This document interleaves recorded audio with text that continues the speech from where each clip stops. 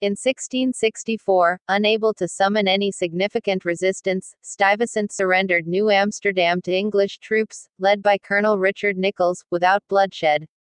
The terms of the surrender permitted Dutch residents to remain in the colony and allowed for religious freedom.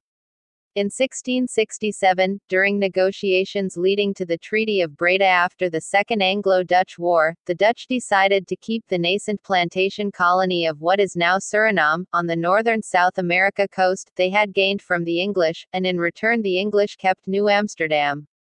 The fledgling settlement was promptly renamed New York, after the Duke of York, the future King James II and IV, who would eventually be deposed in the Glorious Revolution. After the founding, the Duke gave part of the colony to proprietors George Carteret and John Berkeley. Fort Orange, 150 miles 240 kilometers north on the Hudson River, was renamed Albany after James's Scottish title.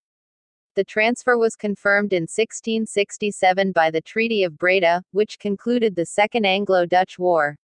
On August 24, 1673, during the Third Anglo-Dutch War, Dutch captain Anthony Colve seized the colony of New York from the English at the behest of Cornelis Evertsen the youngest and rechristened it New Orange, after William III, the Prince of Orange.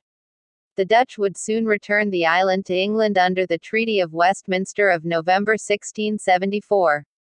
Several intertribal wars among the Native Americans and some epidemics brought on by contact with the Europeans caused sizable population losses for the Lenape between the years 1660 and 1670.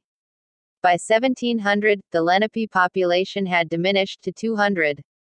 New York experienced several yellow fever epidemics in the 18th century, losing 10% of its population to the disease in 1702 alone.